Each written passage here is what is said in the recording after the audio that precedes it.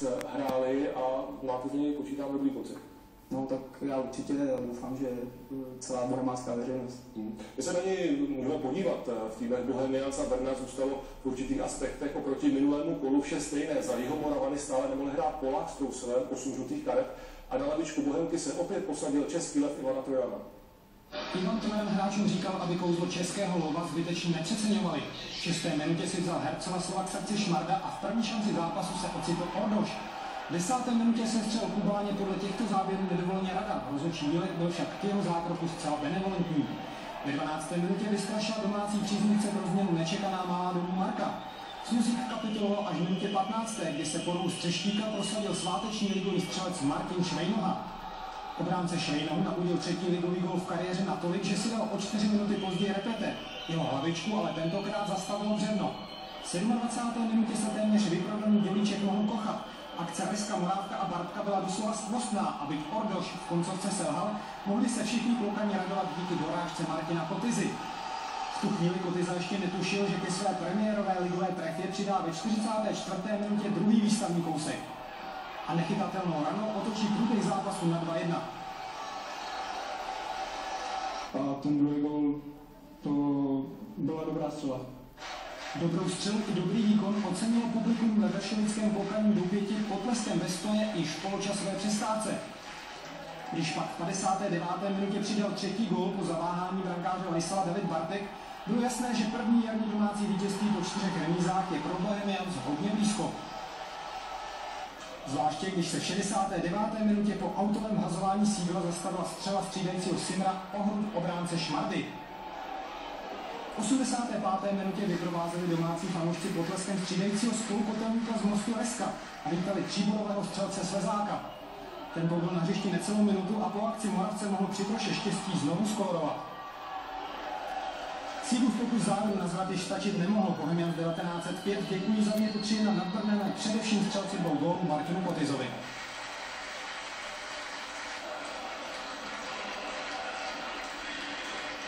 No, tak už je všemu to přejem, protože Martin je hrozně skromný kluk a hrozně hodný a, a myslím si, že tu šanci, uh, že na ní čekal hrozně dlouho a myslím si, že jsme to všichni přejem, že ji dostal, využil chytý časy a dneska nám vystřelil tři body, co víš, tomu dodat. Asi se to Martine hezky poslouchá, tyto komplimenty. Jo, určitě, a obzvlášť od Honzy. Pojďme se ale vrátit tomu zápasu, který se pro vás nezačal vyvíjet úplně ideálně. Dostali jste gól a navíc Martin Švejno pak trefil břevno.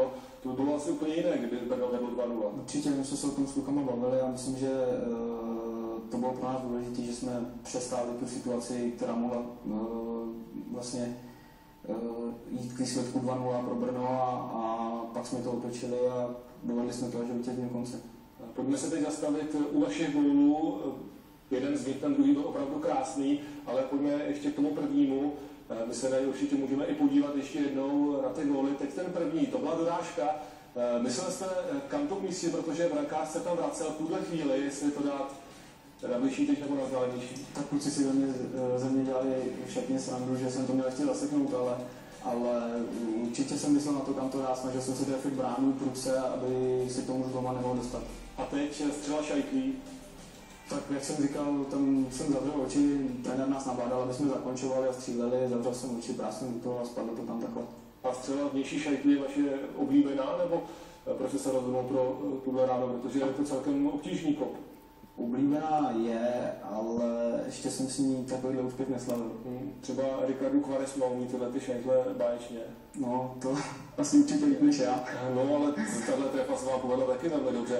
Eh, vyhráli jste tedy 3-1 i díky vašim dvěma prvním ligovým eh, gólům v životě. Eh, takže jaký to má dopad na mužstvo i na vás konkrétně, že jste dal dva ligové góly první svoje? Tak mě to, tohle to mě určitě těší, je to hezký osobní úspěch, a co se týče Bohemky, tak uh, pro nás je to další krok k tomu, aby jsme se zachránili a uh, říkám, máme přece už čtyři kola a my ještě určitě nějaký body hrát musíme, takže musíme dál. Vy osobně jste zaznamenal taky úspěch, že jste hrál v základu, protože vy jste většinu svých ligových startů nazbíral co by střídající hráč, v Bohemce se změnil trenér a ten vám dal důvěru. Eh, takže i tohle asi kvitujete s povděkem. Určitě, určitě, já jsem to už zmiňoval a eh, mě to role střídajícího hráče nevadí, ale, ale samozřejmě chci do zápasu nastupovat do začátku a šanci jsem dostal a jsem tam rád. Je vidět, že změna trenéra pomohla výsledkově, protože jste vyhráli v Mostě hodně důležitý zápas a ty další tři body. Eh, Takže jak byste to popsal, eh, vy opravdu ta změna trenéra byla tím důležitým impulzem. Já si myslím, že určitě. Pojďme dál, trenér Kladna Jaroslav